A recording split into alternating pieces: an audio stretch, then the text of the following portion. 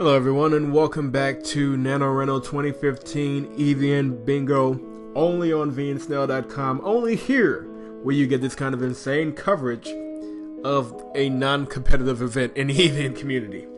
My name is JP III. I run this illustrious website, and today we are playing Chrysanthemum Tea.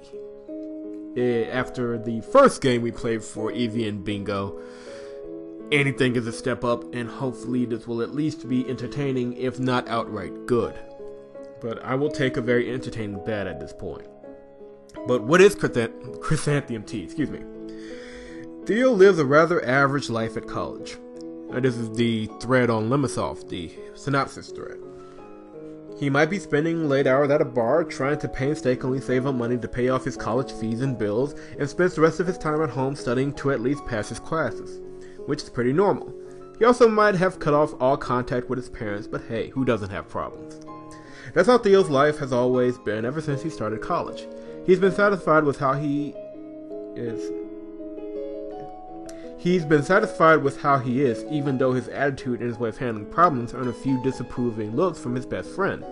However, Theo might start to reconsider that when he meets a strange young girl at a dusty fortune shop which is, I'm assuming, the girl in the hood here. So, according to the forum thread, this thing is going to run at least an hour and a half. There are three different endings. Don't know if I'll be doing all the endings for you guys, but we will definitely do one solid playthrough.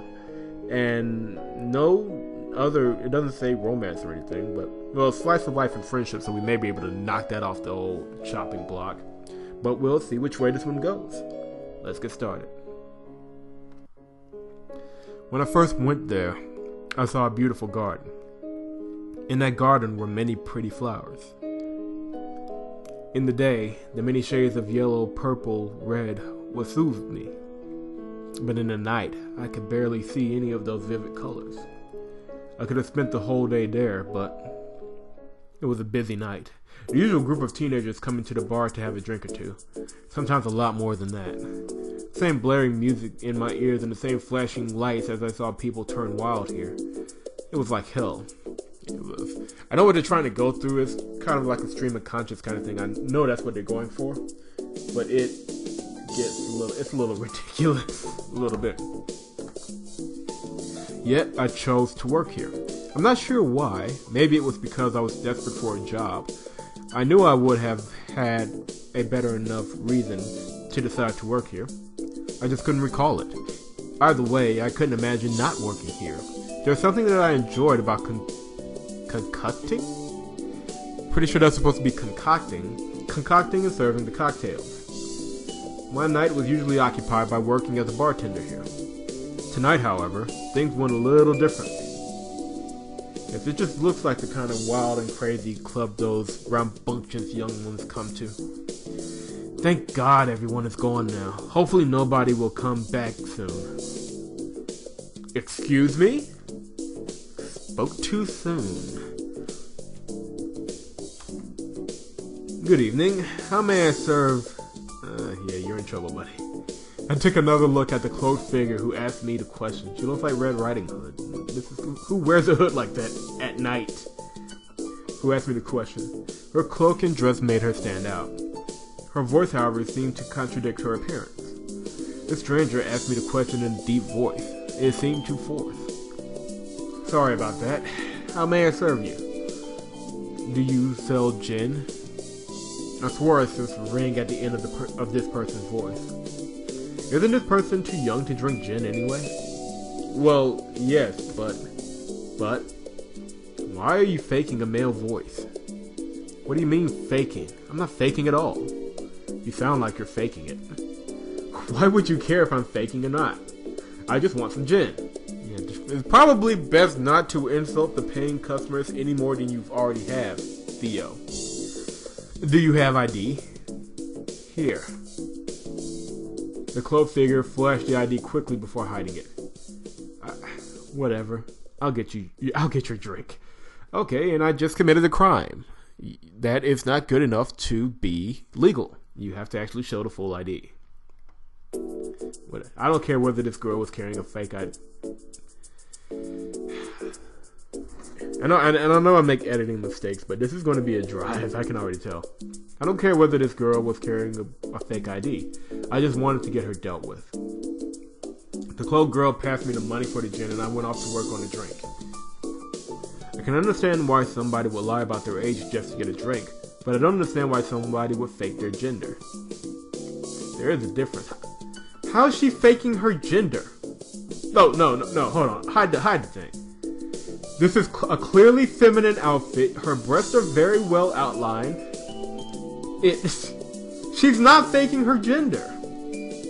It's very obvious that she's female. Oh, what, what the hell? There's a difference. Finally, she gave up that annoying, annoying fake voice. She had a rather sweet voice. No wonder it was difficult for her to fake a male voice. Like, I've even seen ladies passed out over here. It's not really that. Well, maybe. I sighed and passed her her gin. Thank you. I'm surprised you were able. I'm surprised you were able to figure out I was faking. The bartender the other time thought I was a guy. Again, you can clearly see that particular area of the body. Extraordinarily feminine clothing. There is no reason to believe that you're a guy. None. And I know somebody's going to go crazy out there, but look at the character model. There is nothing to suggest anything other than this character being female. Come on now, really. The bartender the other time thought I was a guy. He must have been drunk. He probably wasn't paying attention to you, exactly. I saw the girl take a sip of the gin before wincing in pain and abruptly putting it back on the counter. Ah, that was awful. Can I have fruit cocktail instead? You just paid me for the gin. I can't give you a refund. Why? I don't like gin. You ordered it. There's nothing I can do about it. I don't have enough money for another cocktail. Can you please lower the price? I glanced over at a couple more peop- couple at a couple more people who were waiting for me to attend them. Look, I have a lot of other things to do. I can't cater to your petty request. Yeah, really, way to make that money, Theo. I really feel the pressure that, you know, you need this job and you can't imagine yourself anywhere else. Fine, I'm leaving. The cloaked figure jumped off the stool and quickly walked off. Good riddance. I didn't want to deal with her. I don't understand why she was acting so suspicious. I couldn't bother less about who she was. I couldn't even catch a glimpse of her face when she was here. Why was she that reluctant to reveal anything about herself? Probably just thinking about this too much. I should just forget about her. Hmm? I looked at the place the girl was sitting at. Well, where the house. Let me try that again. I looked at the place the girl was sitting, and I realized she had left something. A hairband? It was a hairband shaped as a chrysanthemum flower. I wouldn't be surprised if that kid had forged that ID. And you broke the law for her anyway. Good going, man. Anyway, title screen. Another day at school. Just what I need to relieve me from relieve me from the stress I face at work. Only to be bombarded with statistics and a theory and the theory of demand and supply or supply and demand as it's usually called. I must have a really boring life. Theodore! Uh oh, she's back. I have to run. Theodore, are you running away from me? Stop calling me that. It's the. Look at this dork. Oh my god. Oh wow. I expected him to look like a douche. I didn't expect it to be that douchey though. God, look at her eyes. Stop calling me that, it's Theo. Of course I know that. Calling you Theodore always catches your attention. Why does she have to know me so well? Does being friends with somebody for two years do that to someone? That's right, Karina. Oh, you're calling me Karina. You must be in a good mood today. Which sank to the depths of earth as soon as you showed up. Hey, at least I know what gets to her just as well. You were running away from me, weren't you? Yes, I was. Douche. What's wrong? What is wrong with you? You've been avoiding me for the past few days. Was I? Yes, you were. Are you sure? What is the point of this? I'm trying to stall you. I'm surprised you can still be that blunt. Again, these characters are in college, they're technically adults. Just wanted to point that out. There's no shame in it. So, are you going to spill or not? I've just been busy. With studying and many other commitments that I can't be I can't bother to list. Name at least two of those commitments. My job and my job. Your sense of humor are so painful. Okay, that was a pretty good. That was a pretty good. That's some pretty good banter there. I'll give him that. Dialogue is pushing him, but banter, yes. Did you just figure that out now? Good point. Maybe I expect too much from you. Was it? What is this illegal job you? Hold on, let me read that again. What is this illegal job that you keep mentioning anyway? Illegal? Gave you that impression. What else do you expect me to think? You never specify what you work as. Half the time I'm actually convinced that you're doing something illegal. I'm not that desperate for money. Look at his face. You, sir, are the king of dork for NaNoRenO. I doubt anybody's going to top you. Since you don't bother to ever tell me about your job, it shall be referred from now on as Theodore's illegal job. You've got to be kidding me. Fine, I'll just assume. I don't even. I guess this part is supposed to be deleted. Fine, I'll just have to assume that you sell drugs for now. That's alright by me. You're off the hook for now. Jeez, no need to give me those dagger eyes. It's just a job. I'm not stealing your prized jewelry set or anything. Ha ha. She rolled her eyes at my half-hearted attempt to humor her. I took this opportunity to slowly walk away. Wait, don't escape before I get to the point. She's gotten a lot more sharp. Yeah. Go back, re-edit. She's gotten a lot sharper lately. What? Tomorrow is a weekend and there aren't any classes for you. Unless your illegal job requires you to remain 24-7 on patrol, can you at least spare a few hours for me? Well, if you can come if you come up with an excuse, it had better be a really good reason. We don't have too much studying to do across the weekend, and your illegal job doesn't count as an excuse. She went through a lot of trouble to corner me. I guess I don't have a choice. what is it? There's this new jewelry shop nearby that opened up. I hear there's also a cool fortune telling service there. Fortune telling? Do you really believe in that stuff? Well, it might be fun. I did not expect this from you. Oh, quit it, Theo. Not everybody can be as glum as you. I'm pretty sure you have some ulterior motive. I guess that's true. If this shop is a if this shop is fortune teller themed, imagine all the cool stuff that can be found there. It would be like a one of a kind collection. Well, I'm relieved that you're actually predictable. Maybe this shop is a ripoff. You can't be sure unless you find out. The shop is just is just nearby, so it won't take too much of your time. You can study and do your other work after that. I'm not so sure. This doesn't really seem to be my thing. My god, that teardrop effect. Come on, Theo. I rarely see you anymore. I'm not asking you to jump down a building. I'm asking for two. I'm just asking for two hours of your time. Excuse me. I'll try my best not to bore you. I just want to spend some time with you instead of having another study session. Oh no, she started it again. I know you're trying to guilt trip me, but you don't have to become a drama queen for that. Please, Theo, just this once. What's with her hands? What is she trying to, is she trying to mime something there? I might be called sadistic for this, but it did feel nice to have her beg for me. Yeah, that's a little, little off. It's hard to get Rena to beg for anything. Uh, Alright, then maybe I could. Thank you so much! Come, let's go.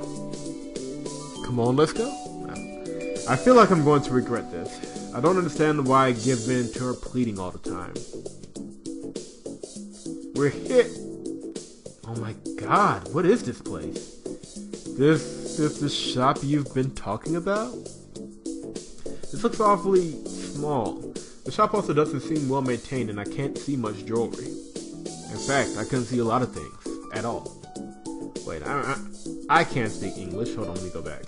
In fact, I couldn't see a lot of things at all. It's more like a charity shop than a jewelry store. Knowing Rena, she couldn't come and visit such a small shop. It looks like we're intruding. In, it looks like we're intruding in someone's house. This somebody has a weird taste in decor too. Are you sure we're in the right place?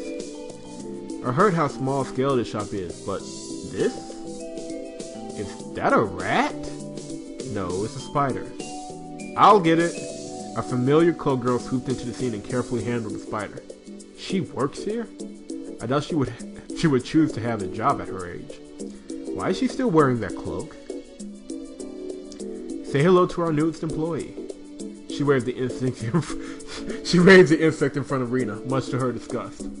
I'd rather not. The girl giggled and put the spider back inside of the jar. Ooh, it's you. That mean bartender who wouldn't give me a refund. I couldn't tell whether she was glad or annoyed about meeting me. I would say the latter. The only places where you'd ever get a refund is at the markets, not at a bar. Hmm. You couldn't even show mercy to a poor little girl like me. Wow, Theo, are you that heartless? What? Rena? Best moment to side against me, Rena. Can we please stop bringing up something that happened yesterday? Now it's your turn to serve us. I'll never forgive you for the cocktail disaster yesterday. I demand justice and independence. Too bad, you're not getting any. There's no use pouting about it. Nobody talks like this, but it's funny. Again, the banter in the game is really good. It needs to be cleaned up a lot in the editing bay, but it's, it is good, I'll give him that. Way to crush a girl's dreams, Theo. Anyway, work, anyway, welcome to Ming Fortunes, where all the magic awaits. I apologize about that rude introduction just now. How, how may I help you? Wow, I did not expect that from her. She sounded like a child who had been practicing their lines for a drama. She made herself sound so enthusiastic. Why are you wearing a cloak? It's our uniform, to make this House of Fortune seem like a more intimidating and mysterious place. We all dress up in ominous cloaks. Uh, it's not really that funny when you explain it. Isn't it an awesome idea? That's kind of... It's as if I needed more anonymity from this place. Are you the only person who works here? I'm the only one on shift for the next two hours. Auntie Ming has gone out to deal with something. I've heard you sell jewelry. Of course. What's a fortune teller shop without jewelry? None. Exactly. We're very unique. For those who couldn't bother less about fortune telling, which makes them wonder why they even came here, can they can purchase our one-of-a-kind jewelry. We sell a range of necklaces, bracelets, and earrings, all designed from colorful diamonds and pearls. Ooh, where is it? The cloak lady skipped over a rope hanging near a, wall. With a pull, the ragged red curtain were, were curtains were pulled to one side, which revealed a collection of sparkling necklaces and bracelets packed into plastic cases. Wow, I've never seen anything so shiny. It might just be a ripoff, you know. Even if the jewelry might look stunning, it might not be worth much. Who cares? It looks so cute. What an excellent marketing technique to trick naive girls like Karina. Rena ran off to the. And there goes my phone. Let me answer that, and we will be back in the next episode. This is a good place to stop anything. Anyway, so yeah. Until the next episode.